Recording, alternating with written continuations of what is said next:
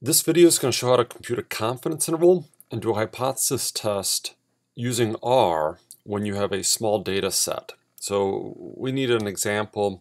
Let's look at Siegel 914. This problem gets carried on in chapter 10 as uh, problem number 9. So we have a bakery that produces loaves of bread with one pound written on the label.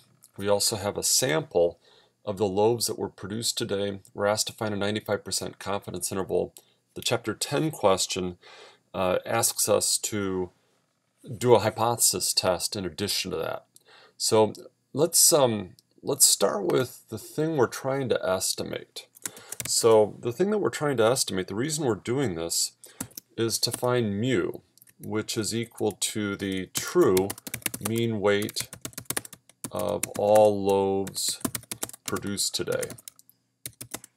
So our, our universe is all the loaves that we produced today.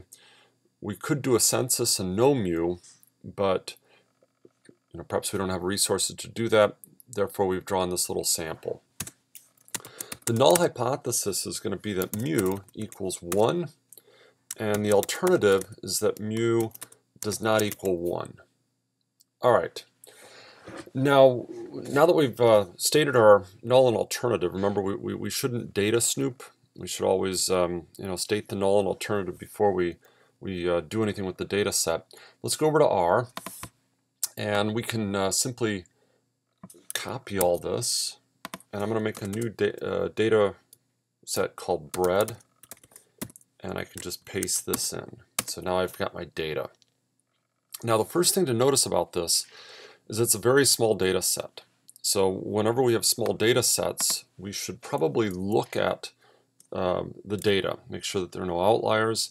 Um, we also must have normality since the sample is so small. We, we can't use the central limit theorem uh, with, with a sample this small. If we're going to do a t-test, we need normality.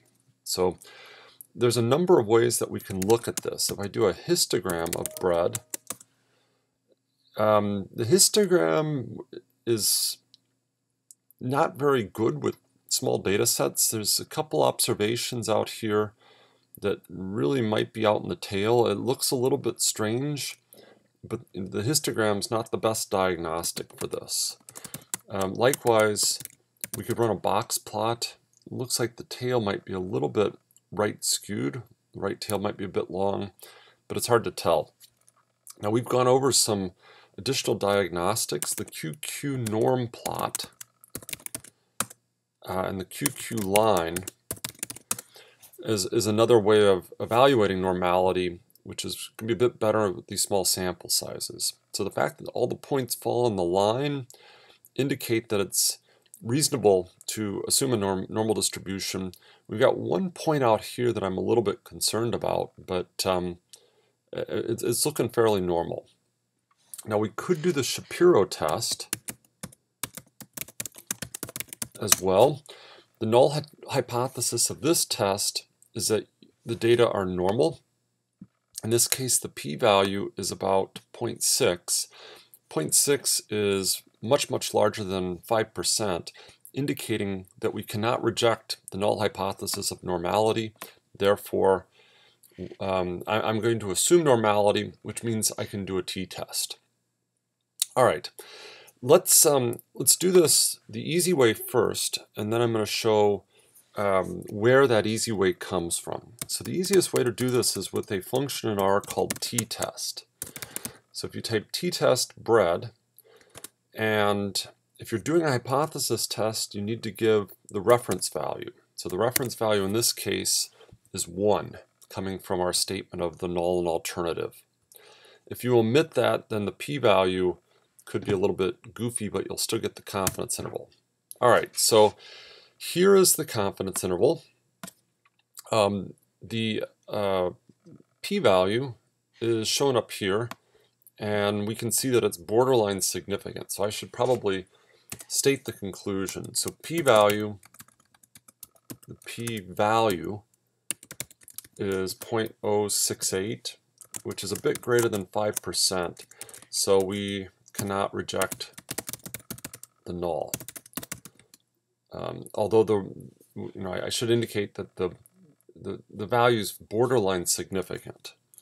Um, you know, so it's, it's, it's around that 5% cutoff, but it's, you know, not quite under it. Had we, um, had we done a one-sided test, this would have been barely significant. The p-value would have been half of that, but um, not with a two-sided test. This conclusion also follows from the 95% confidence interval. So note that 1, the reference value, is in 0.998 comma 1.045 so we cannot rule out the value 1 so 1's a possibility. All right. Now let's just see where some of these numbers come from.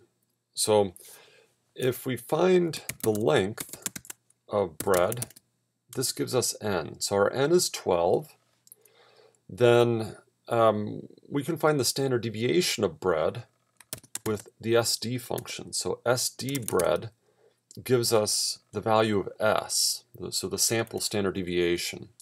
Dividing this by the standard, by the um, uh, square root of the sample size, so the square root of 12, gives us the standard error. So I'm just going to put a little comment out here to us that this is the standard error.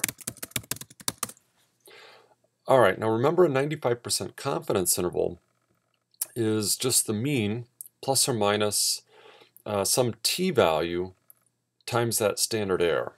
So the t-value is going to be determined with qt. I'm going to use 0.975 for a 95% confidence interval. That leaves 2.5% in the right tail, 2.5% in the left tail, 95% uh, in the middle. And if I um, take n minus 1, so I'm just going to write 11. Where does 11 come from? Well, it's 12 minus 1. That's my t-value, so 2.2 something or other. So if we take, now, and I'll actually find the confidence interval. I'm going to take that t-value times the, uh, oops, wrong, wrong one. Here's the standard error. So if we take the t-value times that, we'll get our margin of error.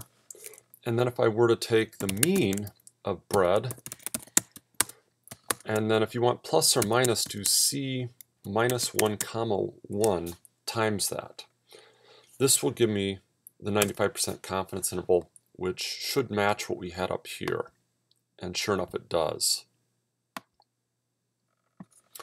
Now, where does this t statistic come from? Well, remember, uh, you know, it's really just uh, that that formula that we used to find z statistics earlier. So uh, x bar minus the mean over the standard error in this case. So I'm going to bring back the standard error. So this is this is what will be in our denominator. So I'm going to write that. Maybe I should have defined that as the standard error. Now if I take the mean, which is mean of bread, minus the assumed mean, which is 1, that was that's the value in our null hypothesis, and we divide by that, we get 2.021, 2.0213, 2.0213, and that's it. All right, where, where does the um, uh, exact p-value come from? Well, if I take 1 minus pt. So this is going to be the cumulative t distribution of that big thing with 11 degrees of freedom. That should give me one tail, which should be about 3.4%. And sure enough, that's what it is. If we multiply this by 2, you get that p-value. So I guess my advice is do a couple problems like this by hand just to make sure you know where all the numbers are coming from and then after that, always use the t-test function. All right, that's it.